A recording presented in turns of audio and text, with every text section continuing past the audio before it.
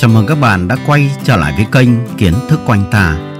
Vâng thưa quý vị và các bạn, trong chương trình đọc truyện ngày hôm nay, kênh Kiến thức quanh ta sẽ tiếp tục gửi tới quý vị và các bạn tiểu thuyết Cẩu trùng thiên của tác giả Độc Cô Xanh, phần thứ 5, hồi thứ 16, Ngọc Địch cứu anh hùng.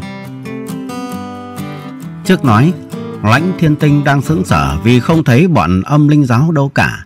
Lúc đó Bạch Lăng Thu thở một hơi giải nói, Chúng đã ở trong đám sương mù đen đó.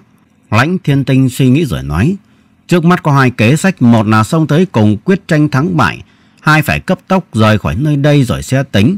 Nhưng Bạch Lăng Thu lắc đầu nói. Hai việc đó hiện giờ đều không làm được. Lãnh thiên tinh cau mày. Tại sao thế? Bạch Lăng Thu cười khổ. Âm linh giáo chủ về sớm như vậy là việc ngoài dự định của ta. Nếu không thiếp đã sắp xếp một cách khác không phải rơi vào hoàn cảnh khó khăn như bây giờ. Lãnh thiên tinh thôi thúc. Điều tại hạ đang muốn biết là tại sao cả hai việc đều làm không được. Bạch Lăng Thu chỉ đám sương mù từ từ rời đi xa trước mặt nói. Đó là đám mây độc vụ lợi hại nhất của âm linh giáo. Trừ biến cố cực kỳ trọng đại chúng mới sử dụng. Người chúng đám mây đen đó đều phải chết. Mặc dù thiếp đã xâm nhập vào âm linh giáo rất lâu như thế, nhưng vẫn không tìm được loại thuốc giải chất độc đó. Lãnh thiên tinh nói. Đã là vật lợi hại như vậy tại sao chúng lại không dùng để tấn công kẻ địch, lại dùng để che thân mà chạy trốn? Bạch Năng Thu trả lời, trong âm linh giáo có ba thứ tuy độc, trừ giáo chủ ra không ai được sử dụng. Vừa rồi chúng có lẽ không muốn lấy tính mạng chúng ta ngay, nên mới dùng độc vân để chạy trốn. Nhớ đến lời nói ác độc vừa rồi của Thượng Quan Minh nàng đỏ mặt nín lặng. Lãnh thiên tinh lại cau mày nói, thế thì tại sao cô nương lại nói việc rời khỏi nơi đây chúng ta làm cũng không được? Bạch Lăng Thu đáp, bọn âm linh giáo đồ không phải dễ dàng chịu thua. Nhìn hành động của chúng vừa rồi rõ ràng chúng muốn bày trận bạch cốt đây. Lãnh thiên tinh lẩm bẩm. Trận bạch cốt, trận pháp tại hạ cũng đã từng học sơ qua. Trận bạch cốt chẳng qua là một trận thuộc tà đạo có thể phá trận này không phải là khó. Bạch Lăng Thu cau mày nói, việc này cần phải chờ xem mới biết được. Nàng vừa nói xong bỗng nghe những tiếng chi chi chít chít vang dội lên. Rồi trước mặt xuất hiện một hàng quỷ ảnh, Bạch Lăng Thu vội trầm giọng Cẩn thận, trận bạch cốt đó. Lãnh thiên tinh không đợi nàng nói dứt, đột nhiên vẫy tay đánh ra một trưởng nhắm vào lớp quỷ ảnh đó. Bỗng nghe một tiếng nổ lớn âm âm, bụi cát bay lên, đá to văng ra bốn phía. Lớp ảnh quỷ đã lập tức biến mất. Lãnh thiên tinh trong lòng rất ngạc nhiên. Trên cửu trùng thiên chàng đã mất 100 ngày để học qua cơ quan trận pháp. Trong ký ức của chàng chẳng hề có một trận pháp nào cổ quái như vậy. Trong lúc suy nghĩ, lãnh thiên tinh chợt nghe có tiếng chi chi chít chít lúc nãy lại vang lên. Lớp ảnh quỷ đã biến mất, vừa rồi lại xuất hiện ngay ở vị trí trước. Lớp ảnh quỷ đó đều là những bộ xương khô có đổ đầu lâu răng trắng nha ra trông rất khủng khiếp. Mặc dù biết là giả nhưng nhìn tướng như thật, lãnh thiên tinh không vung trưởng đánh ra nữa, mà âm thầm vận dụng huyền công chờ đợi. Ý đồ của chàng là muốn nhìn rõ hành động của chúng ra sao rồi mới ra tay. Lãnh thiên tinh chợt nghe Bạch Lăng Thu nói bên tai, Quỷ ảnh tuy giả nhưng thuốc độc vốn là thật. Trên người của bọn quỷ ảnh đều chứa chất kịch độc theo gió mà bay ra.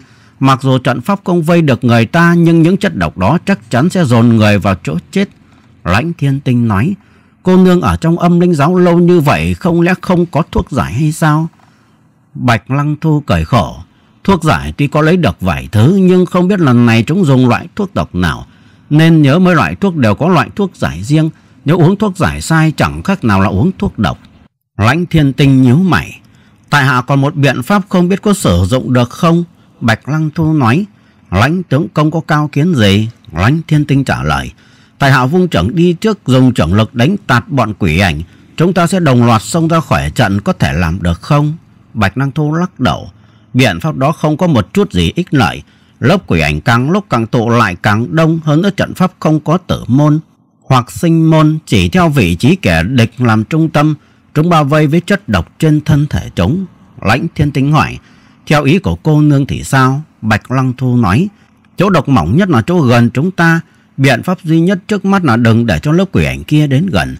Chờ thiếp phân biệt được đó là loại thuốc độc gì, nếu có thuốc giải đó là sự may mắn của chúng ta. Uống thuốc vào sẽ ông rông ra khỏi có điều. Nàng đảo mắt nhìn quanh rồi tiếp, Lão tặc âm linh giáo chủ tất nhiên là biết thiếp mang theo rất nhiều thuốc giải, nên sợ rằng lão dùng lần này không phải là loại dược độc thông thường. Lãnh thiên tinh nói, dù phân biệt được hay không, Chúng ta không có thuốc giải thì làm sao đối phó với cảnh nguy khốn này? Bạch Lăng Thu cao mày. Không còn biện pháp nào khác bằng vào trưởng lực của chúng ta tạo thành bức vách vững chắc chung quanh không cho độc tố xâm nhập vào người. Lãnh thiên tinh lắc đầu. Đó không phải là cách giải nguy. Chúng ta có thể duy trì được bao lâu chứ? Bạch Lăng Thu nói. Trận bạch cốt kéo dài 8 canh giờ mới tan để xem chúng ta có thể duy trì được thời gian giải đó không. Lãnh thiên tinh cao mày không nói nhưng trong lòng đầy sự bất an. Lớp quỷ ảnh trước mặt ngoại trừ kêu chi chi chít chít ra, chúng không làm một hành động nào khác. Nhưng đợi một lúc khoảng một tuần trà, đột nhiên có tiếng ảo ảo vang lên, rồi xuất hiện vô số quỷ ảnh từ khắp bốn phía chập trần bao vây hai người lại. Bạch Lăng Thu vội kêu lớn. Lãnh tướng công hãy chú ý trận bạch cốt đã bắt đầu khởi động. Bạch Lăng Thu và Lãnh Thiên Tinh lập tức dơ trưởng lên vỗ ra bốn phía. Trưởng lực bay ra, phong tỏa bốn mặt không cho khí độc bay vào người. Bọn quỷ ảnh vội vã tan ra nhưng lại kéo ập trở vào. Không để cho hai người rảnh tay nghỉ ngơi cứ thế mà kéo dài thời gian khoảng một buổi cơm. Lãnh Thiên Tinh tuy nội lực rất cao nhưng cứ dùng trưởng đánh ra như vậy rất là tổn sức Lúc bây giờ chàng đã bắt đầu thở hào hẹn, đã cảm thấy khó còn sức duy trì được nữa.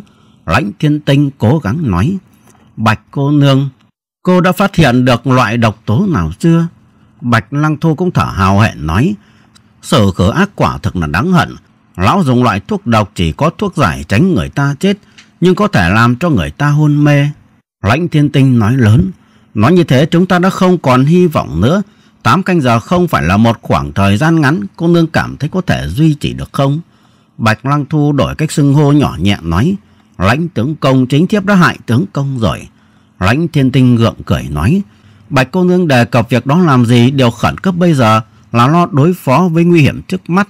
Bạch Lăng Thu cười khổ, thiếp tự phụ là tài trí hơn người nhưng không ngờ chỉ sơ suất một chút mà rơi vào hoàn cảnh này, lãnh tướng công tướng công có thể đáp ứng một yêu cầu của thiếp không? Lãnh thiên tinh nói, xin cô nương cứ nói ra. Bạch Lăng Thu nói, chờ lúc tiếp không còn khả năng duy trì được nữa, hai chúng ta cùng tự tử chết với nhau có được không? Lãnh thiên tinh sửng sốt, lời nói đó có hơi sớm lắm không? Chàng dừng lại dây nát rồi cương quyết nói tiếp, cô nương cứ yên tâm, tại hạ quyết không để cho cô nương rơi vào tay bọn trống đâu. Hai người vừa nói vừa phát triển liên tục, tạo chung quanh một màn kình lực che chở châu thân, không cho độc khí của lớp quỷ ảnh xâm nhập, nhưng sức của hai người càng lúc càng yếu đi, sắp sửa đến lúc không còn cầm cự được nữa. Lãnh thiên tinh nghiến răng toàn lực phát triển, hiện giờ chàng phải lo đối phó gần như ba mặt, chỉ để cho Bạch Lăng Thu lo mặt trước của nàng thôi. Mặc dù như vậy, Bạch Lăng Thu cũng đã thở mạnh, dần dần không còn khả năng phát triển được nữa. Bạch Lăng Thu chợt nói lớn, lãnh tướng công đã tuyệt vọng rồi chúng ta. Lãnh thiên tinh hét lớn, hãy cố gắng chút nữa tại hạ. Bạch Lăng Thu than thở, lãnh tướng công thiếp xin tướng công hứa với thiếp một việc nữa. Cô nương cứ nói, chàng cười khổ, Bạch Lăng Thu lẩm bẩm, tướng công và thiếp gặp nhau trong khổ nạn kể ra cũng có duyên phận với nhau. Lãnh thiên tinh chợt hét lớn, cô nương coi chừng, đồng thời cấp tốc đánh ra một trưởng. Thì ra Bạch Lăng Thu khí lực đã hết, lại lo nói chuyện với lãnh thiên tinh nên sơ suất một chút. Một con quỷ ảnh thừa cơ xâm nhập. Cũng may lãnh thiên tinh kịp thời xuất trưởng đánh văng quỷ ảnh đó ra ngoài, Bạch Lăng Thu thở dài. Lãnh tướng công vô dụng thôi, chúng ta hãy cùng chết với nhau. Bỗng nhiên trong tiếng chi chi chít chít trói tai của bọn quỷ ảnh, một tiếng sáo ngọc trong trẻo từ đâu bay tới khi xa khi gần, khi trầm khi bổng, tiếng sáo đó vô cùng kỳ dị, nhưng có tác dụng làm phấn chấn tinh thần con người. Tinh thần của lãnh thiên tinh đột nhiên phấn chấn lên chẳng gọi lớn. Bạch cô nương hãy nghe tiếng sáo kìa. Sự thật Bạch Năng Thu cũng đang nghe được tiếng sáo đó, tinh thần của nàng cũng đã phấn khởi lên. Tiếng sáo ngọc càng lúc càng rõ, càng cao vút, dường như từ trên trời cao bay xuống. Nói ra thì kỳ quái làm sao, tiếng sáo vừa phát lên, tiếng chi chi chít chít của bầy quỷ ảnh dần dần ngưng lại. Ngoài ra bóng quỷ ảnh càng lúc càng ít đi, cuối cùng hoàn toàn tan rã tiêu vong. Bạch Năng Thu đột nhiên như một trái bóng bị xỉ hơi, từ từ quệ xuống đất, lãnh thiên tinh cố gượng cho vững gọi lớn. Bạch cô nương, bạch cô nương, trận bạch cốt đã tan rồi. Bạch lăng thu vốn chưa hôn mê, nghe chàng gọi, nàng nói đứt quãng. Lạ thật không lẽ tiếng sáo kia. Lãnh thiên tinh nghiêng tai lắng nghe một lúc tiếng sáo đó cũng đã ngẩng lại. Lãnh thiên tinh không cần suy nghĩ nữa vội vàng ngồi xuống nhắm mắt điều tức. Khoảng một tuần trà chàng đứng dậy tinh thần thật sảng quái. Chàng nhìn Bạch Lăng Thu vẫn còn ngồi uể oải bên cạnh nói lớn. Cô nương hãy nhìn kìa, người giải vây chúng ta đã đến. Bạch Năng Thu dụi mắt định thần nhìn kỹ, bỗng nàng thấy một nữ tiểu đồng không quá 10 tuổi, mặc áo đỏ, miệng cười dạng dỡ thật có duyên đi về hướng hai người. Trong tay quả nhiên cầm một cây sáo bằng ngọc lấp lánh bóng loáng. Bạch Lăng Thu nhìn kỹ cô bé, bất giác cười lên vô cùng sảng khoái.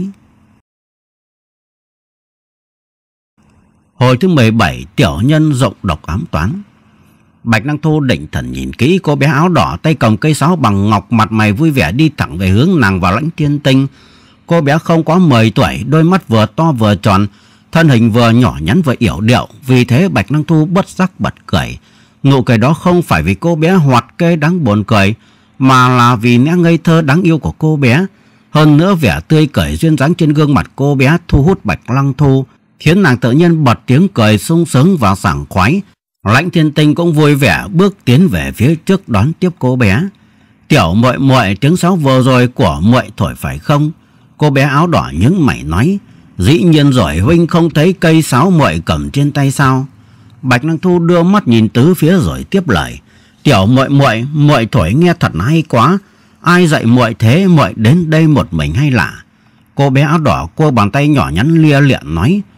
Tỷ tỷ hỏi nhanh như vậy bảo làm sao muội trả lời cho kịp. Bạch Năng Thu chỉ thấy núi rừng vắng lặng không một bóng người. Ít nhất trong vòng một trăm trượng, bất giác lại cười lên nắc nẻ nói. Tiểu muội muội, muội ngồi xuống đây từ từ nói chuyện chơi. Cô bé đỏ không chịu ngồi xuống, vừa hua cây sáo trong tay để chơi vừa cười ngây thơ nói. Muội phải hỏi trước nhất tên của vị đại ca này là gì ạ? Lãnh thiên tinh sửng sốt dây lát rồi cười nói. Ca ca họ lãnh tên thiên tinh. Cô bé quay lại Bạch Năng Thu trông có vẻ rất nghiêm trang hỏi. Còn đại tẩu tẩu à? Bạch Năng Thu ẩn hồng hai gò má đáp. Tiểu muội muội muội cứ gọi ta là Thư Thư không thể gọi.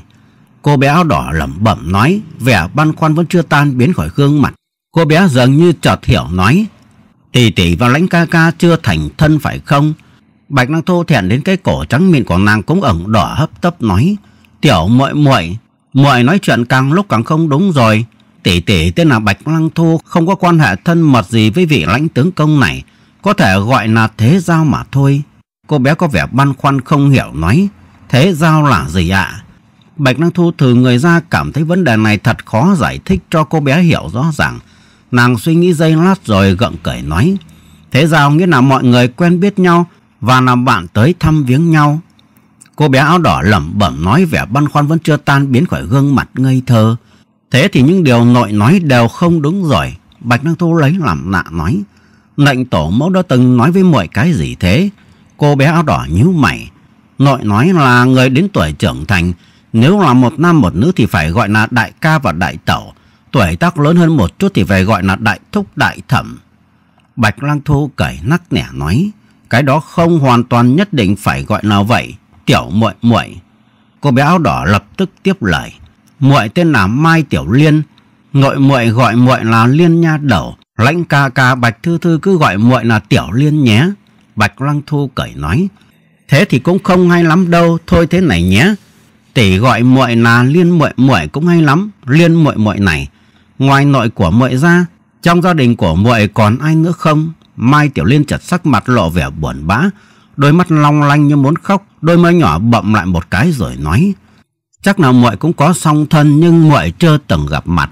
Muội trước giờ vẫn theo nội ở trong núi, chính nội nuôi muội lớn lên. Bạch Năng Thu cảm động khẽ thở dài nói: "Thế thì tài thổi sáo của muội cũng là do nội dạy phải không?"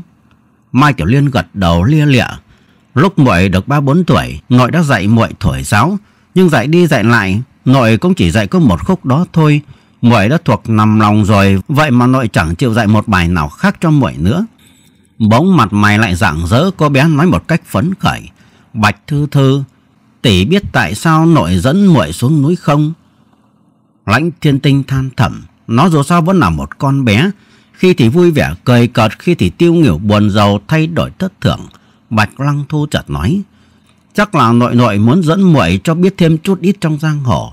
Mai Tiểu Liên gật đầu, nội cũng nói như vậy, nhưng muội biết tâm sự của nội chủ yếu là muốn tìm song thân của muội.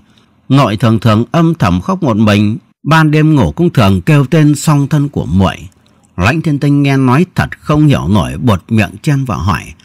Tên của song thân muội là gì? Mai Tiểu Liên trả lời ngay. Nội thường trong giấc mộng gọi tên chấn nhạc, có lúc gọi là nhạc nhi, chắc thân phụ muội tên là Mai chấn nhạc. Tỷ thấy phải không vậy Bạch Thư Thư? Bạch Lăng Thu nói.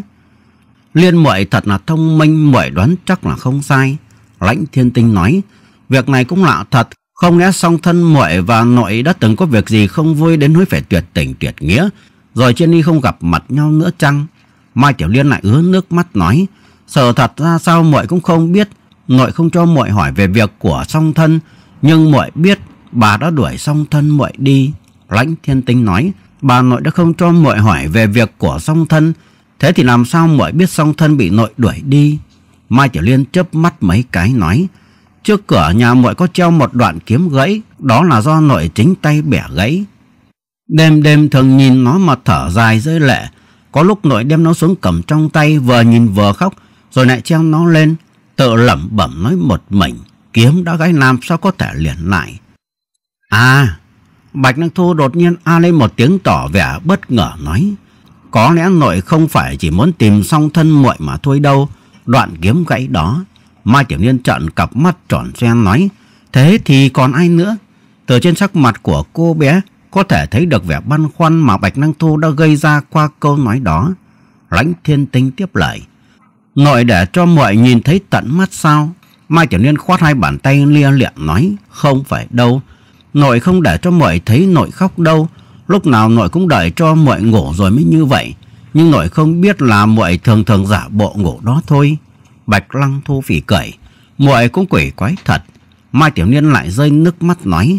Bạch Thư Thư, tỷ có thể nói cho muội biết tại sao cây kiếm đó bị gãy không? Bạch Lăng Thu cau mày nói. Cái đó rất khó nói có điều. Nàng có vẻ xúc động nói tiếp. Hãy tin lời Bạch Thư Thư đây. Tỷ nhất định sẽ giúp mọi tìm hiểu rõ ràng việc này và nhất định sẽ tìm cách làm cho song thân và nội của mọi đoàn tụ lại. Trước hết muội hãy nói cho tỷ biết nhà muội ở tại đâu. Mai Tiểu Liên gạt nước mắt, bỗng nhiên vùi đầu vào ngực Bạch Lăng Thu ôm lấy nàng nói lớn. Bạch Thư Thư tỷ thiệt là người tốt, nhà muội ở tại Thiên Hư Cốc dưới núi Vô Lượng Sơn. Ở đó chẳng có một nhà láng giềng nào chung quanh. Từ khi muội biết đến nay muội nhớ chưa có người nào đi qua đó cả. Bạch Lăng Thu gật đầu nói. Được rồi, tỷ đã nhớ kỹ. Sau này tỷ nhất định sẽ tìm hiểu rõ việc gia đình của muội. Dừng lại dây nát nàng tiếp, Còn nội muội đâu rồi? Mai Tiểu Liên đưa tay chỉ nói, Nội đang ở bên sườn núi bên kia, Cách đây có mười mấy dặm đường. Cái đầu nhỏ nhắn kia nghiêng qua một bên. Cô bé nói tiếp, muội theo bà từ bên đó đi qua đây. Trông thấy trên triển núi bên này có một đám mây đen kịt. Nội mới bảo muội chạy đến đây thổi khúc thiên mã dẫn. Mà muội đã học mấy năm nay Ai dè muội thổi một lúc mà đám mây đen đó tan mất tiêu, lại gặp được lãnh ca ca và bạch thư thư đây. Bỗng nhiên trong lúc Mai Tiểu Liên cùng với lãnh thiên tinh và bạch năng thu nói chuyện đến chỗ hứng khởi, bỗng nghe một tiếng trống vang lên. Tiếng trống đó tuy nhỏ nhưng vô cùng hùng hậu uy mãnh. Âm ba của nó truyền đến làm cho con tim người phải rúng động, lãnh thiên tinh cao mày. Tiếng trống này rõ ràng là một loại võ công âm luật thượng thừa bạch cô nương. Mai Tiểu Liên chợt cười nắc nẻ nói nội của muội gọi đó. Lời cô bé chưa dứt đã nghe ba tiếng trống nữa. Ba tiếng trống này vang dội như tiếng sấm gầm ở trên trời. Lãnh thiên tinh công lực tuy thâm hậu nhưng trong đầu cũng bị chấn động. Bạch Lang Thu cũng hơi biến sắc mặt cao mày nói. Liên muội tiếng trống của nội muội là có ý gì thế? Mai Tiểu Liên đáp. Không có gì, nội thôi thúc muội hãy về cho mau vậy thôi.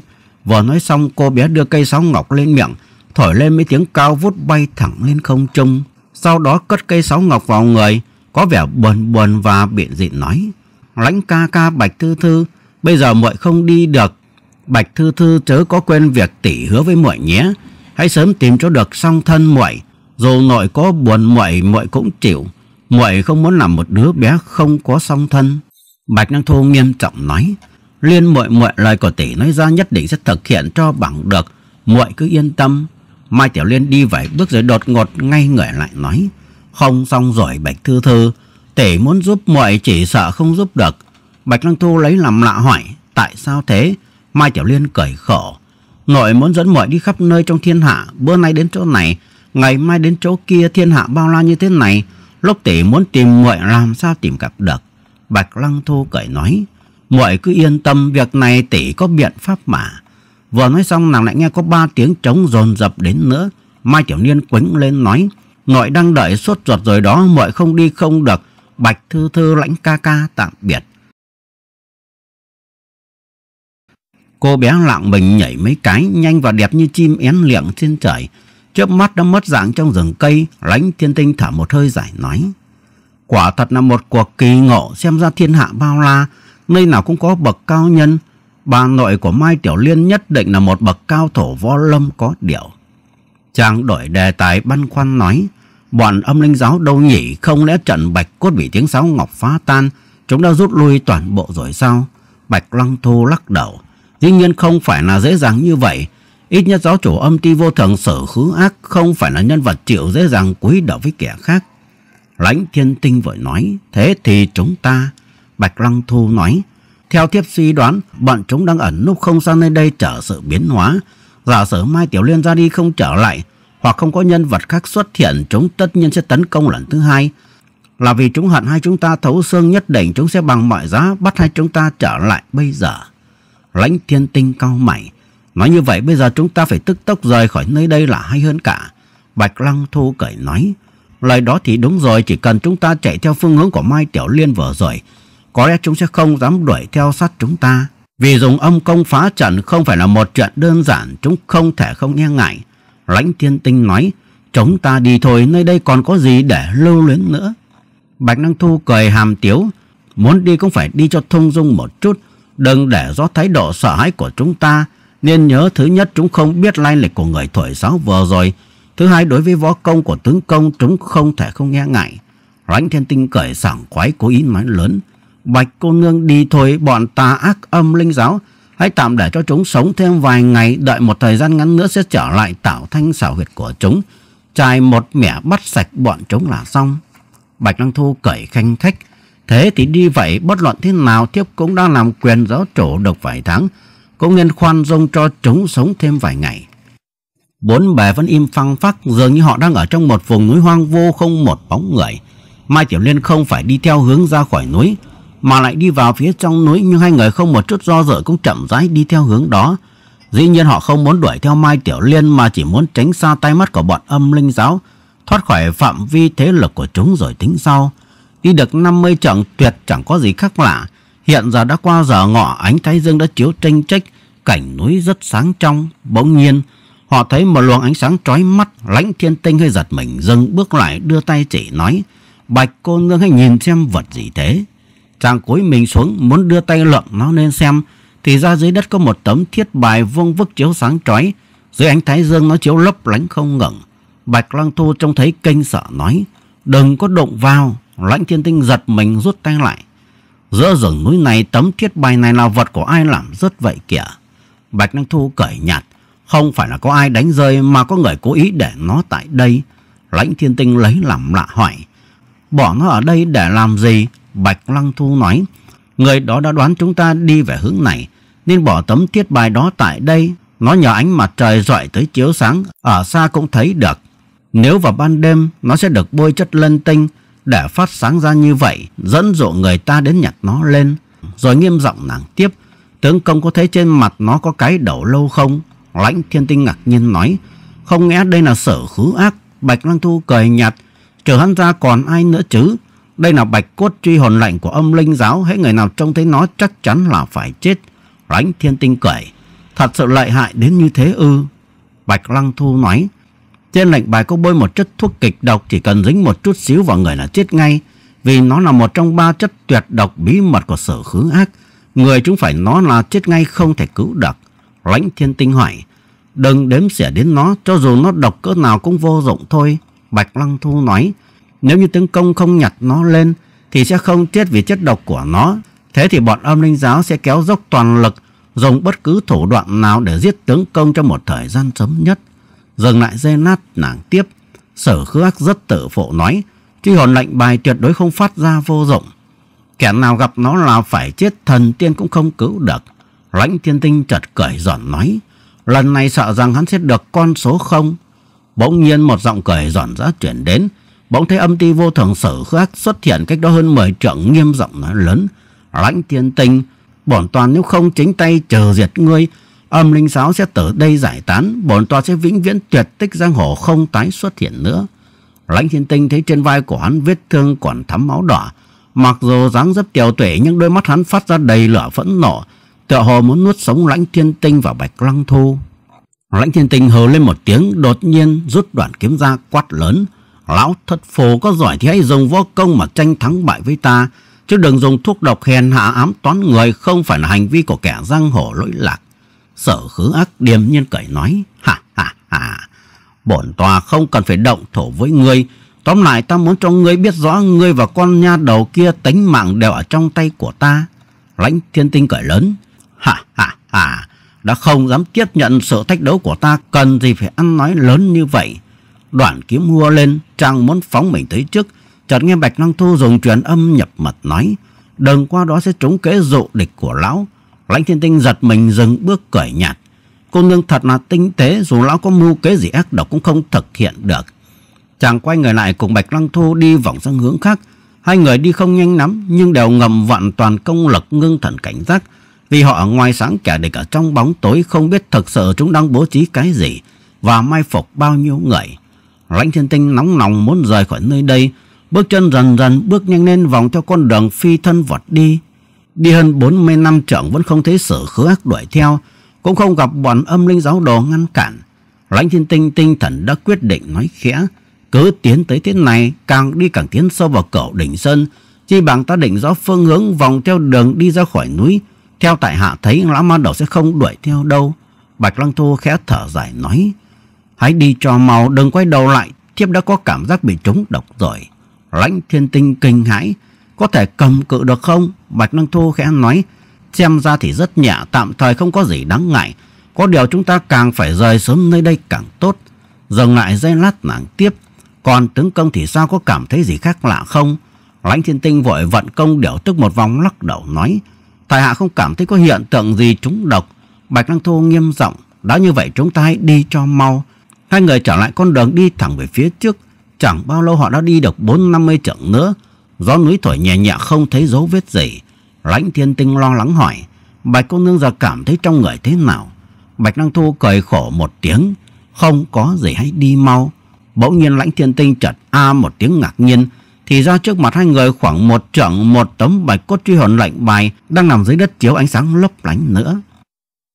Hồi thứ 18, cổ am giữa rừng sâu. Bạch Năng Thu co mày thở dài nói, Ai, xem ra thì lão đang theo sát chúng ta. Hơi thở của nàng đã nghe khá nặng nề, giữa chân mày đã tỏa ra một làn khí đen hiện tượng đã trúng độc. Lãnh thiên tinh co mày nói, cô nương cô có biết đã trúng loại thuốc độc gì không? Bạch Năng Thu vung hai tay một lượt rồi nói, hiện giờ khoan hãy nói việc đó. Ánh mắt đăm đăm nhìn tấm thiết bài cách đó một trận nàng tiếp. Vừa rồi thiếp có thể là trúng thuốc độc bôi trên tấm thiết bài như thế này. Cũng may là rất nhẹ nếu không là đã chết từ lâu rồi. Lãnh thiên tinh nóng này. Cô nương có biết chất thuốc độc đó tên là gì không và có thuốc giải không? Bạch Đăng Thu dường như chẳng nghe câu hỏi của lãnh thiên tinh. Nàng trả lời nhưng không phải là câu hỏi của chẳng. Nhờ công lực của tướng công thâm hậu hơn nên hít vào ít chất độc đó. Nó theo công lực tuần hoàn mà bị ép ra khỏi thân thể. Trầm giọng nàng tiếp. Hãy mau lùi lại một chút gió đang thổi về hướng này. Bởi thái độ rất nghiêm túc của Bạch Lăng Thu, Lãnh Thiên Tinh vội kéo nàng lùi sang bên trái cả trượng. Lãnh Thiên Tinh thấy thái độ ngây ngây dại dại của Bạch Lăng Thu, đó là độc tố đã thâm nhập sâu vào ngũ tạng của nàng nên vội thôi thúc. Cô nương không chịu trả lời câu hỏi của tại hạ sao?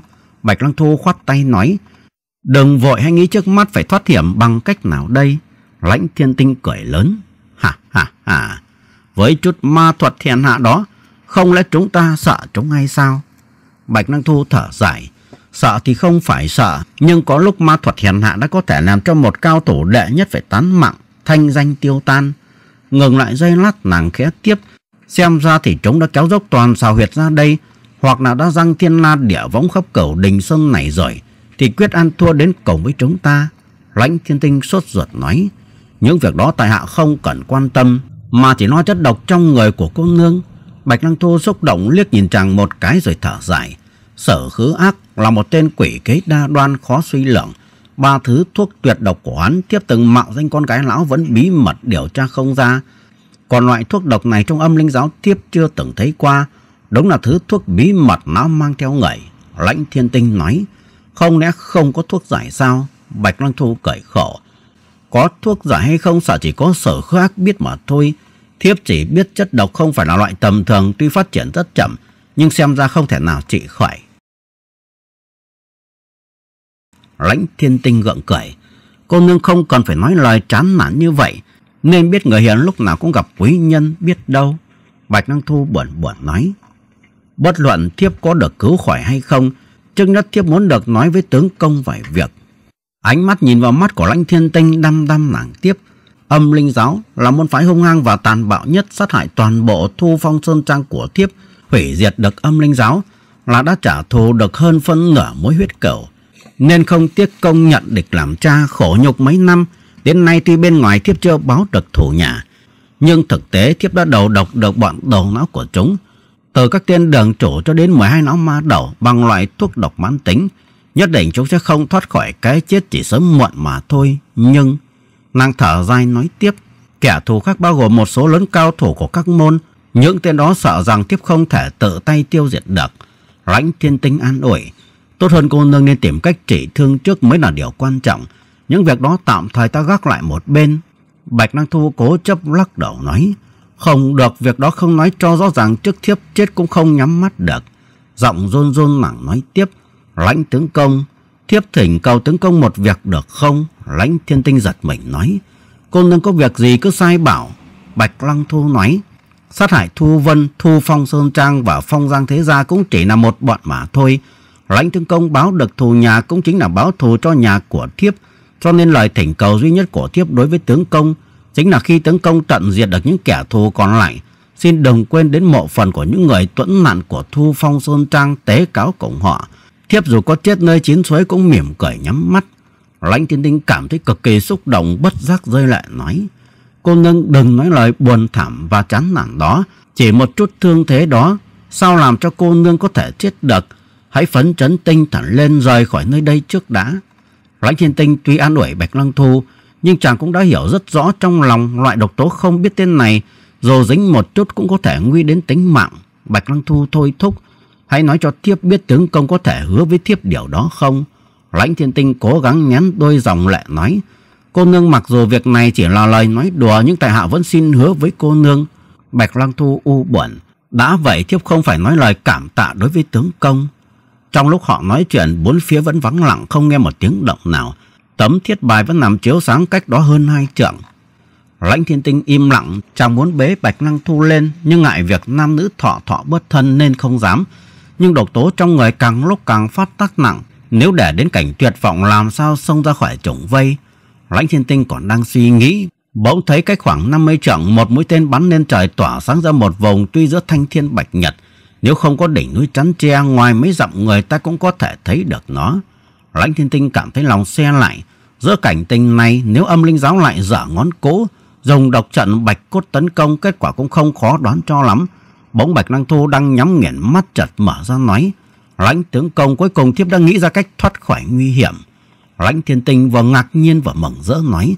Xem tình hình này, lão quỷ sở cứ ác đang định dùng ngón cố bố trí đại trận bạch cốt không biết cô nương nghĩ ra được biện pháp nào. Bạch Lăng Thu nói, vạn vật trên đời không có vật gì không sợ lửa.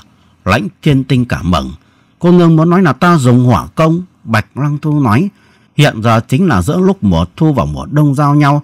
Chỗ này núi rừng cây cối rậm rạp chỉ một bó đuốc là có thể đốt cháy một vùng năm ba mươi dặm. Đừng nói là trận bạch cốt, cho dù bất cứ loại độc tố hay độc trùng nào cũng bị cháy ra cho bụi mà thôi.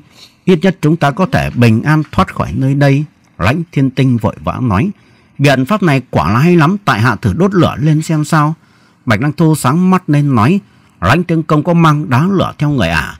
Lãnh thiên tinh cau mày cười nói. Tại hạ từng học ở tiên sư một loại công phu gọi là xích quỷ trưởng.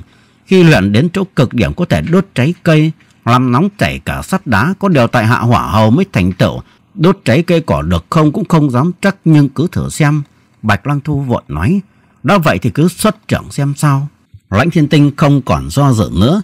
Chiếu theo khẩu quyết xích quỳ trưởng đề khởi công lực của bàn tay, đột nhiên đánh ra một trưởng uy mãnh, dùng gần tám thành công lực hướng vào một đám cây thấp gần đó. Từ lòng bàn tay chàng một luồng hồng quang đỏ rực phát ra xẹt tới đám cây, Bùng một tiếng vang dội một tròm nở tóe ra từ các thân cây, bắt nở thế dần dần lên cảnh lá. Cả hai người cảm thấy cơn nóng của trống lan dần tới. Lãnh thiên tinh sững sờ đứng nhìn xuất thần. Thoạt đầu chẳng không ngờ xích quỷ trưởng lại có uy lực dường ấy. Vì từ khi luyện thành tuyệt nghệ đến nay chẳng chưa hề thử nó bao giờ. Bạch Năng Thu cũng ngạc nhiên không kém, đăm đăm nhìn lãnh thiên tinh như si dại một lúc rồi nói. Nhanh lên thôi hãy cho lửa cháy bốn mặt. Lãnh thiên tinh chợt như tỉnh mộng nghe nói, chàng không chậm chế đơn trưởng lại trông ra liên tiếp mấy mấy trưởng khắp bốn hướng. Bỗng nghe những tiếng bùng bùng vang lên liên tục, lập tức lửa bắt lên từ các thân cây xung quanh cháy rực lên bao vòng quanh hai người. Dưới ánh sáng đỏ rực của lửa, gương mặt trắng miệng của Bạch Lăng Thu đỏ hồng đẹp như hoa hồng thắm, nhưng độc tố trong người đang ngấm sâu, tuy thấy lửa cháy nàng biết rằng có thể thoát khỏi cảnh nguy hiểm được 8 9 phần. lòng cảm thấy nhẹ nhàng phần nào, nhưng cuối cùng không còn gượng được nữa, nàng lập tức ngẹo đầu sang một bên hôn mê bất tỉnh. Lãnh thiên tinh kinh hoàng thất sắc cúi xuống gọi, Bạch cô nương, bạch cô nương. Bạch Năng Thu nhắm mắt như chết nằm im bất động, hơi thở nhẹ như tơ. Lãnh thiên tinh vội dùng chỉ pháp thôi cung quá huyệt, song trưởng ấn vào lưng nặng khẽ gọi, Cô nương, cô nương. Rất lâu sau Bạch Năng Thu cuối cùng cũng mở mắt ra nói giọng yếu ớt. Tướng công sao còn chưa chạy đi? Lãnh thiên tinh âu sầu nói, cô nương. Bạch Năng Thu u uất thở dài nói, không cần phải lo cho thiếp. Thiếp chỉ sợ không xong rồi, chỉ cần tướng công báo thù được cho hai nhà họ lãnh và họ Bạch là thiếp cũng ngậm cười nơi chín suối. Lãnh thiên tinh cau mày. Cô nương đừng nói như vậy, để tại hạ dìu cô nương đi. Bạch Năng Thu cau mày nói, nếu như tướng công không nghe lời thiếp nữa, thiếp sẽ cắn lưỡi chết ngay.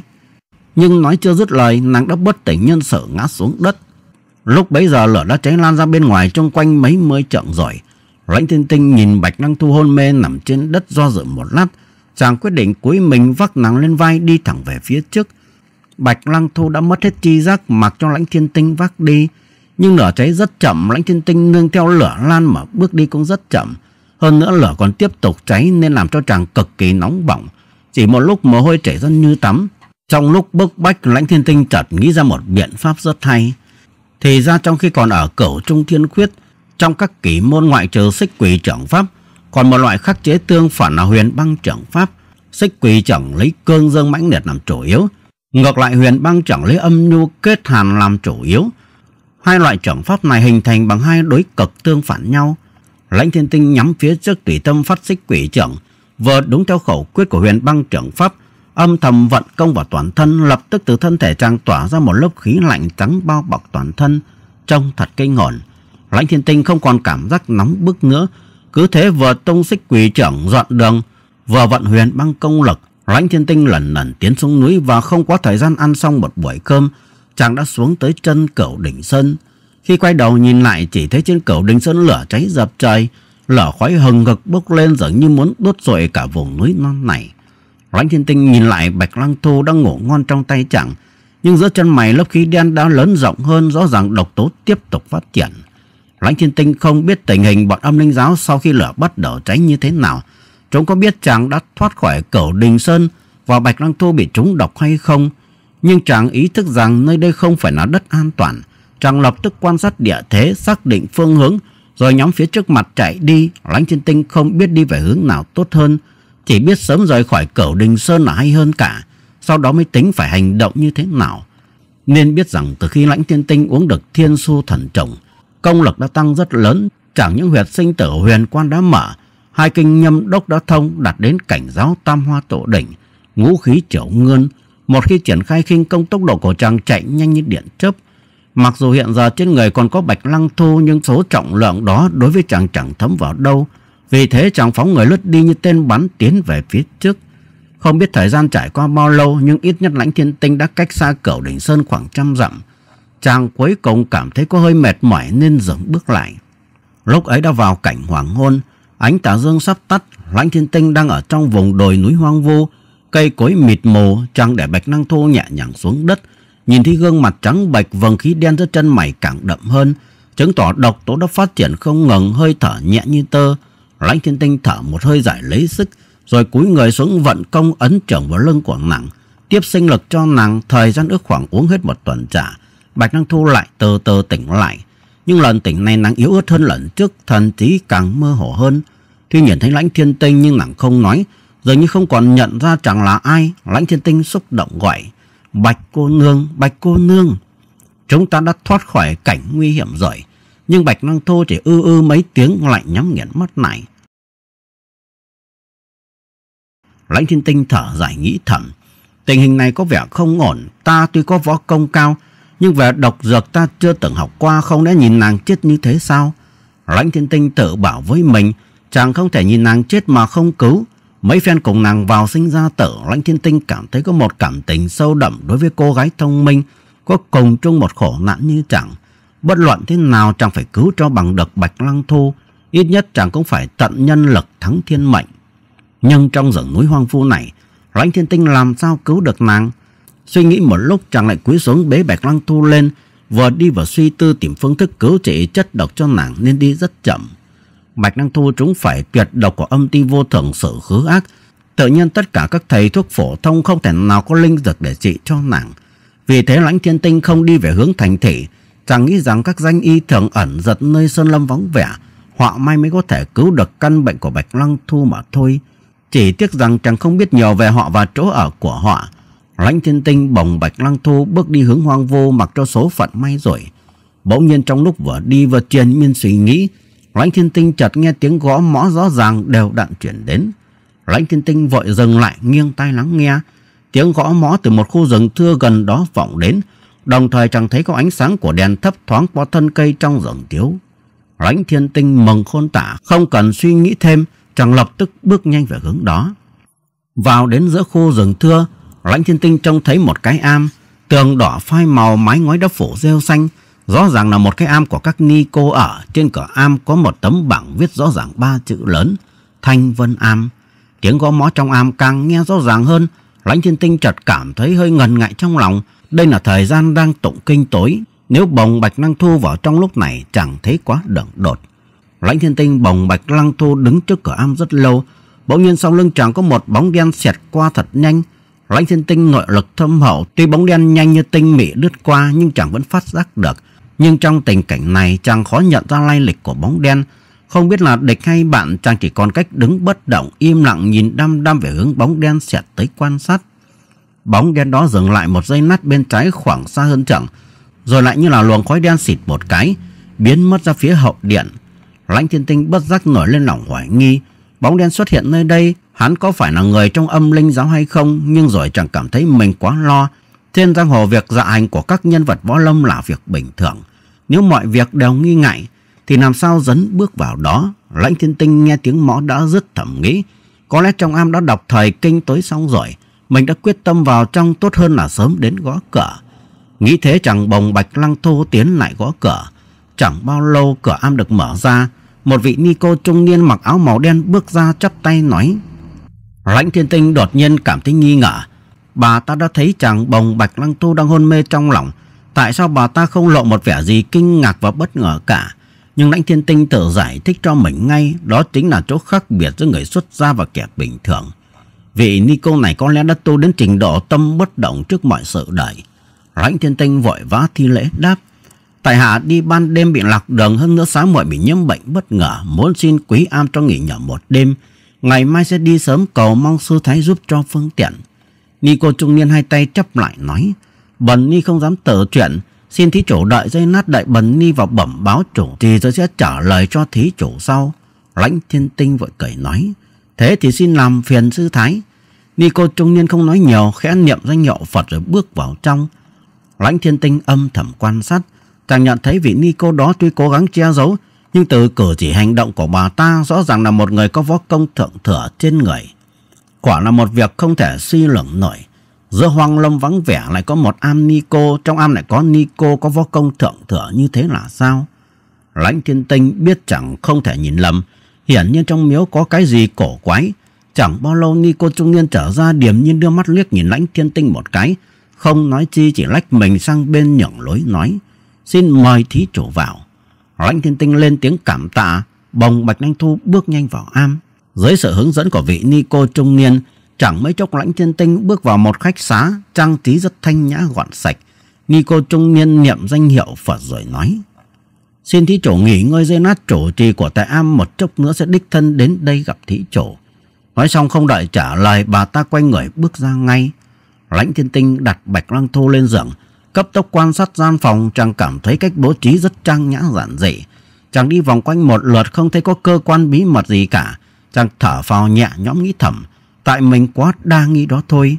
Bỗng nhiên lãnh thiên tinh nghe có tiếng niệm Phật lớn ở bên ngoài, rồi một ông ni cô già da mặt nhăn như da gà lôi, tóc như lông hạc bước vào phòng. Lãnh thiên tinh vừa thấy mặt, chàng bất giác kinh hoàng lòng bàn tay mồ hôi lạnh tuôn ra ướt đẫm. Thì ra lão ni cô đó chẳng những tuổi rất già, mặt mũi cũng cực kỳ quái dị. Cặp mắt như hai ngọn đèn màu xanh lục chiếu sáng rực, ai thấy cũng phải khiếp sợ. Sắc mặt bà ta đen bẩm, trên da mặt đến da cổ có nhiều cục bướu lớn như trái nho. Khi đi nhúng nhảy đong đưa không ngừng, giữa đêm hôm trong rừng núi vắng vẻ như thế này, gặp một bộ mặt kỳ dị đó thật chẳng khác nào gặp một con quỷ u linh hiện hình. Nhưng tiếng niệm Phật của vị lão ni cô xấu xí đó lại biểu lộ một nội lực thâm hậu sung mãn, chứng tỏ bà ta là một tay nội công võ học thượng thừa. Lãnh thiên tinh vội đứng lên công tay thi lễ nói, quấy nhiễu sự thanh tịnh của lão sư Thái, tại hạ thật vô cùng ái náy. Lão ni cô điểm nhiên nói, thí chủ bất giác phải khách sáo như thế xin mời ngồi xuống đảm đạo. Lãnh thiên tinh khiêm tốn ngồi xuống ghế thấp nói, xin thỉnh giáo lão sư Thái xưng hô thế nào ạ?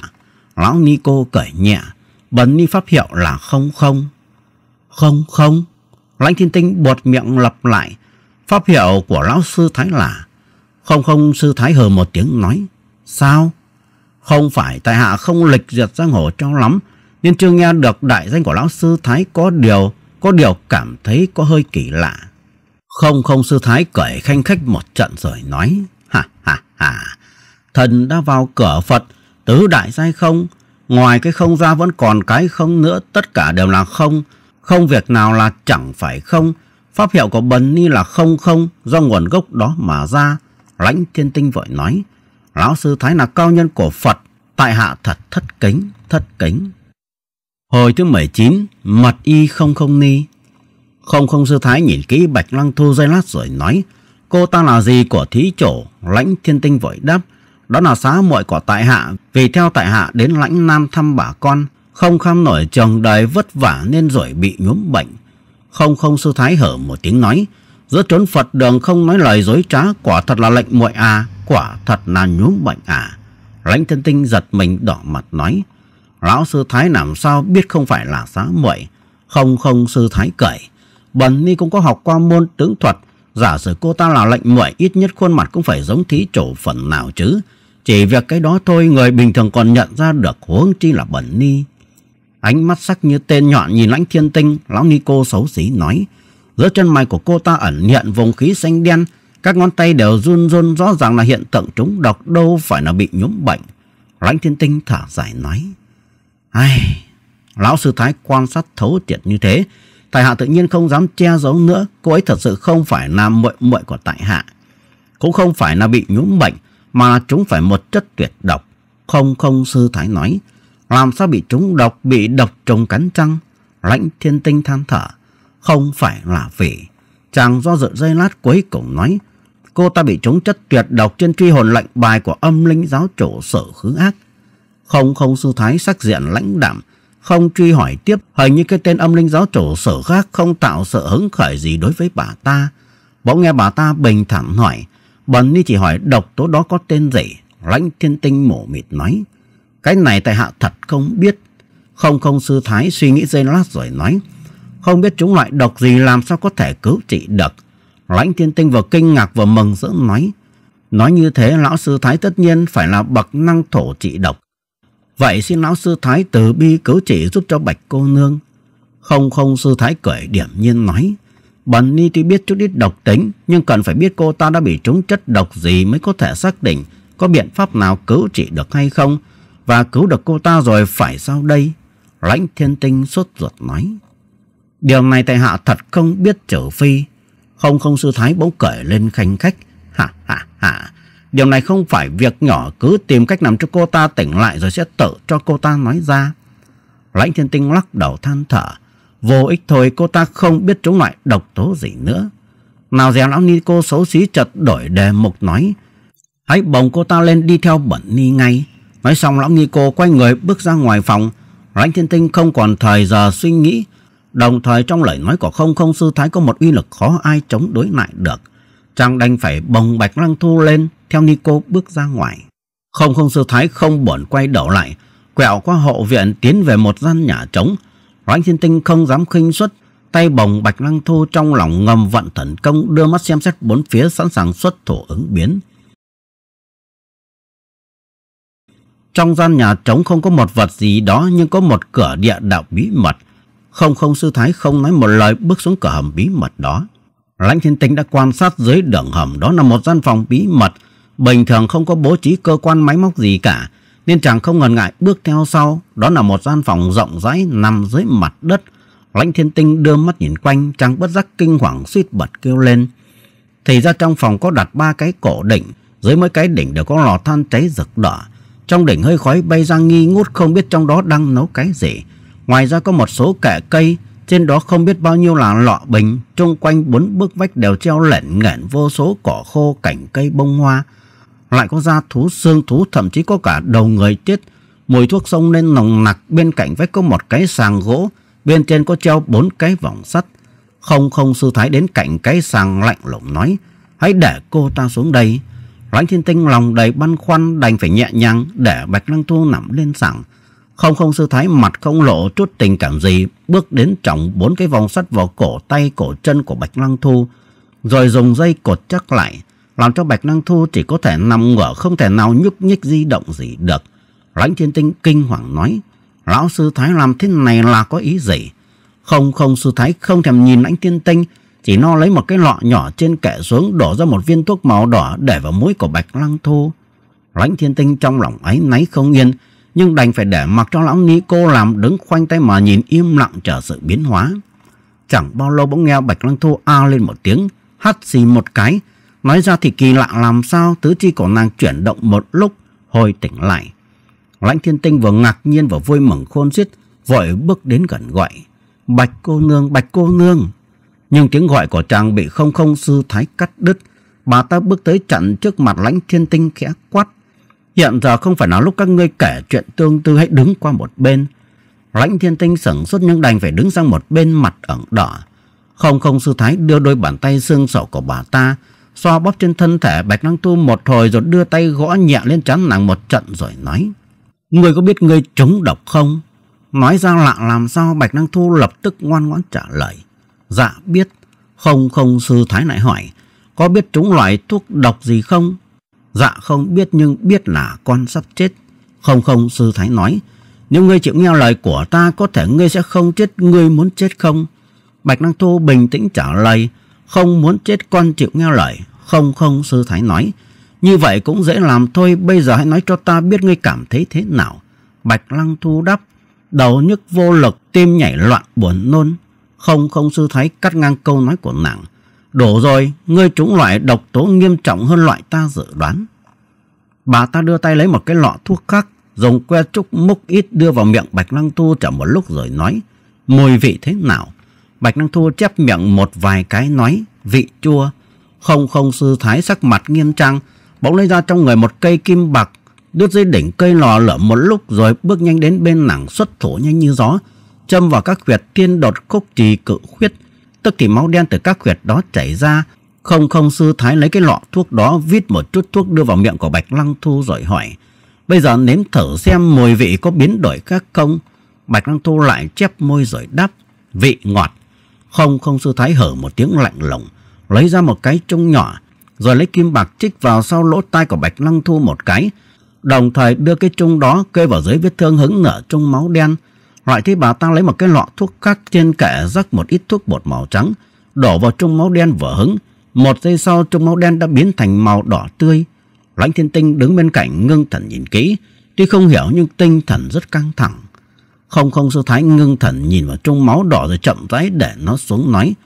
Thuốc độc cô ta chúng phải là thuốc bất bộ đoạn hồn tán, là loại thuốc phối hợp tất cả các loại độc nhất trên đời này. Người bị chúng độc không bước đi được 8 bước đã chết. Ngừng lại dây nát bà ta tiếp. Điều may mắn của cô ta là trúng độc nhưng số lượng cực ít mới kéo dài mạng sống đến bây giờ. Nhưng tối đa cô ta chỉ có thể sống được thêm 4-5 tiếng đồng hồ nữa thôi. Lãnh thiên tinh cực kỳ khích động nói. Lão sư Thái, xin sư Thái hãy cứu mạng cho nàng một lần. Không không, sư thái có vẻ nan giải nói. Đây là loại thuốc độc khó trị nhất trên đời bẩn ni. Chợt đổi đề mục bà ta tiếp. Ngươi quả thật không thể không cứu mạng cho nàng ư. Lãnh thiên tinh trả lời ngay không chút do dự. Đó là việc tự nhiên tại hạ quyết cứu mạng cho nàng. Dù vào dầu sôi lửa bỏng, ít nhất tại hạ quyết tận nhân lực mới theo thiên mệnh. Không không sư thái nói. Nói như vậy thì cũng dễ thôi, ngươi phải hoàn toàn nghe theo lời của ta, giúp ta thí dụng thủ thuật mới được. Lãnh thiên tinh vội đáp, tại hạ hoàn toàn nghe lệnh của lão sư thái, chỉ cần mong lão sư thái từ bi cứu cho nàng. Không không sư thái nói, bần ni muốn ngươi dùng nội lực trợ cho cô ta hành quyết vận công, có thể vì thế ngươi sẽ bị mất một phần chân khí, ít nhất phải nghỉ ngơi hơn một tháng mới có thể phục hồi công lực lại được. Lãnh thiên tinh nghiêm trang nói, đó là việc nhỏ thôi tại hạ không cần phải suy nghĩ. Không không sư thái đột nhiên lấy trên kệ một hoàn thuốc đưa cho lãnh thiên tinh nói hãy nuốt viên thuốc này vào mới có hiệu quả. Lãnh thiên tinh đưa tay nhận lấy chỉ thấy hoàn thuốc to bằng lóng tay út sắc đen mùi cực kỳ tanh hôi và ngửi mùi của nó đã buồn nôn. Nhưng lãnh thiên tinh không nghi ngờ gì khác vì cứu tính mạng của Bạch Lăng Thu không chút do dự chẳng nhắm mắt bỏ hoàn thuốc vào miệng nuốt đi. Không không sư thái chăm chú nhìn lãnh thiên tinh nuốt viên thuốc rồi lập tức ngửa mặt lên trời cười khanh khách một trận, âm thanh như sấm nổi.